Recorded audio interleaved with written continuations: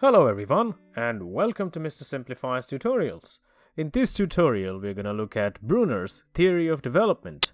We essentially continue on with our quest to look at simplifying various approaches to learning and development. Before we begin, I'd like to introduce you to a new and innovative service called Simplygram, which is a highly rated organic Instagram growth provider. Simplygram will help you organically grow your Instagram and get you 5,000 new followers per month. Please check them out by visiting a unique link provided in the description, which grants you a 10% discount. Now, Jerome Bruner was an American psychologist who made important contributions to cognitive psychology, and educational psychology. According to Bruner, the goal of education should be intellectual development as opposed to just memorization of facts. He also believed that education should aim at creating an autonomous learning environment with learners essentially learning how to learn. Through his research on children's cognitive development, Bruner proposed three modes of representation which form a part of his learning theory. Now, let's start off by looking at what these modes mean and what the actual modes are. So, what are these modes or stages of representation that Bruner referred to? When we talk about modes of representation, we refer to the way human beings store and encode knowledge and information in the memory. Bruner believed that all learning occurs through these stages or modes of representation. It is therefore important that these modes of representation are used to actually design curriculum. It applies equally to children and adult learners alike. Unlike Piaget's stages, uh, Bruner's stages are not strictly sequential or based on age. They only translate from one stage to the other. The only reason there's an age bracket associated with these stages uh, is that at a certain age bracket, certain modes of representation are very active and are the are the primary modes of representation. Now let's look at these actual modes enactive mode. So this mode is based around actions and reactions. The word enactive has the word act in it, referring to this being action based learning. In this mode, a person would understand objects by performing actions on them and observing the reactions that come out of it. This mode is dominant in the ages of 0 to 1 in an infant's life. This mode is therefore similar to the sensory motor stage from Piaget's stages of development. Now, if you're interested in learning more about Piaget's stages of development, please visit my tutorial on this topic, which you will find in this channel.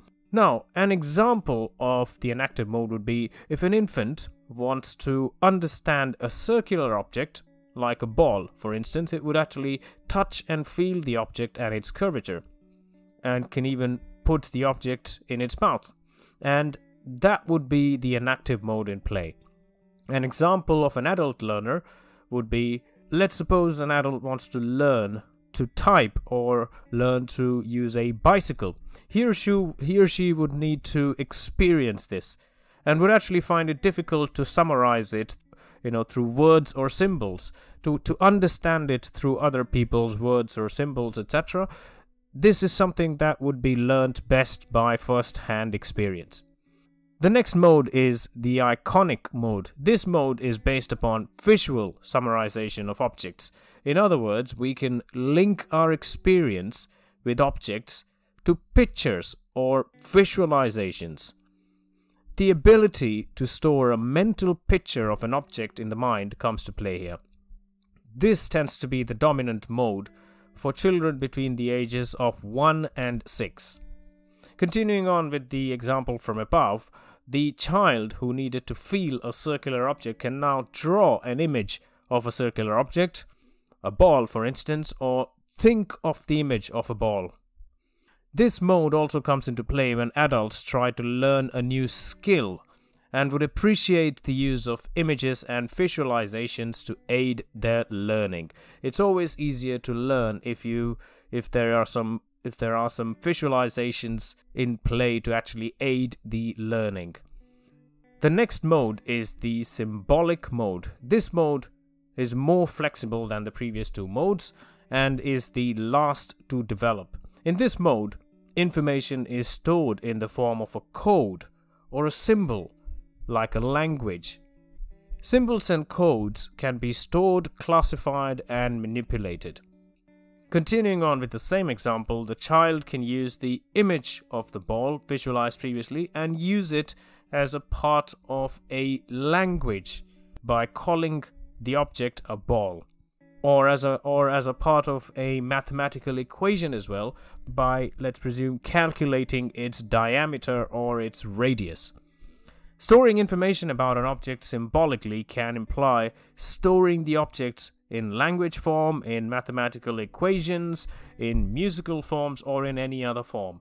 So, going back to the meaning of modes of representation, Bruner believed that all learning occurs through these modes of representation we've just discussed. He therefore believed that curriculum should be designed in a way such that students get to directly manipulate objects. They should then be encouraged to construct visual representation of these objects, and then the students can use symbols and codes to represent these objects. So learning should actually follow a sequence. The sequence should actually be the modes of representation in the appropriate order. And because all learning is based around these modes of representation, we come to a concept called spiral curriculum proposed by Bruner. Now, Bruner believed that any subject of any difficulty can be taught to a child at any stage of development. This is now in contrast to Piaget's stages, which advocate that curriculum should be designed in accordance to the stage of development of a child. Bruner stated that any subject can be taught at any stage with a gradual increase in difficulty. What this means is that students revisit the same topic at regular intervals with the complexity increasing each time they revisit it and also ensuring that each learning step is linked to the previous stage and merely continues on. Because of the repetitive nature of this style of learning with increasing difficulty, this style of curriculum is called a spiral curriculum. And this is a very important concept in Bruner's theory, and Bruner was a very strong advocate of designing spiral curriculums. We now look at a concept called scaffolding. Now, Bruner agreed with Vygotsky about the role of the social environment in a child's learning. Students are benefited by the help and guidance of adults to shape up their learning. They essentially learn by themselves, in his opinion, but need guidance and support from adults and their learning environment as well. It's it's called scaffolding because the idea is like scaffolding being used to aid building a structure. Now, if you use scaffolding to build a structure, the scaffolding used is not sufficient. You still got to build the structure, but the scaffolding acts as an aid.